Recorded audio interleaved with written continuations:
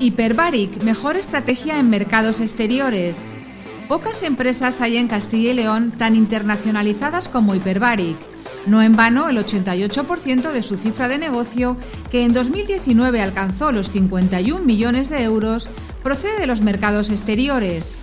La experiencia con clientes en cerca de 50 países y los 300 equipos industriales instalados en los cinco continentes convertido a la compañía burgalesa en referente mundial en la tecnología de procesado por altas presiones, con más de 280 clientes y el 60% de cuota del mercado en equipos instalados.